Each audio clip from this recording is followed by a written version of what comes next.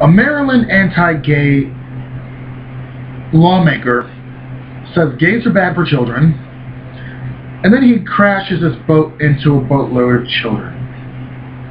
The Forja of Proposition 8 Archbishop arrested for DUI. Then the kicker, here's the kicker. An anti-gay activist and former school teacher is admits, confesses to molesting children for 25 years. 25. Some of those kids are grown now. Mm. Yeah, that looked ugly. It's a poster. So here we go, as usual, constantly pointing out the fact that it's not gay people who are a danger to children. Look at these three. The molester and the cr boat crasher. Hey, look at those children. I want to say hi. Oh, shit. Did I run one of them over? Maybe the San Francisco Archbishop who was indicted for DUI will probably say the same thing. But this goes to show you exactly what my whole thing is about this whole this whole anti-gay indi individuals who are saying that we're bad for children, and they actually prove the opposite is true.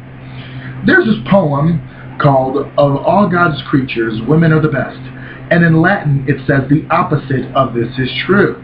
And I think that this is kind of like that poem because of the fact that we're constantly seeing every person, most people who claim that gays are bad for children, like the Louisiana pastor, I believe, who was caught masturbating at a playground. Ugh, kids are playing there. And here they go, talking about marching against gay pride and everything like that, and they're masturbating watching a playground full of kids. Now, first of all, I would really be alarmed if I'm if I'm seeing a person, a car, constantly there at the playground, and I don't know who it is, who's inside.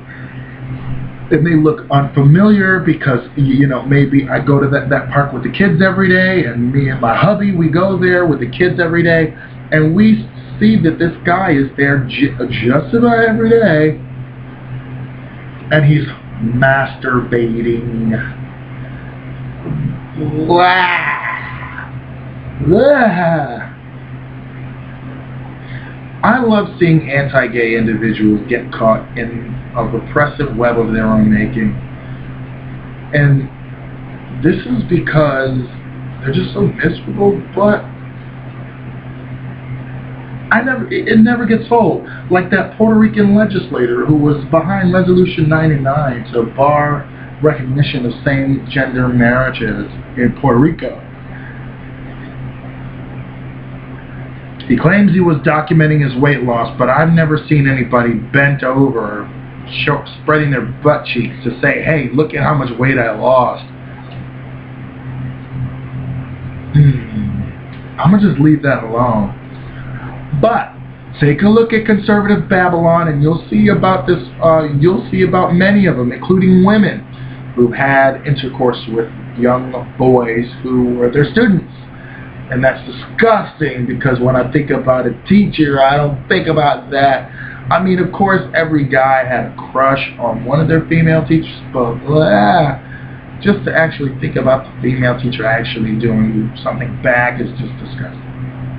Because it is. It's disgusting. But it's funny how these anti-gay conservatives are get get caught doing questionable moral activity when they think that we are the ones who have a monopoly on that. Have a great day, YouTube. Or at least queers are the ones that have a monopoly on that, excuse me. Good day, you two. I said good day.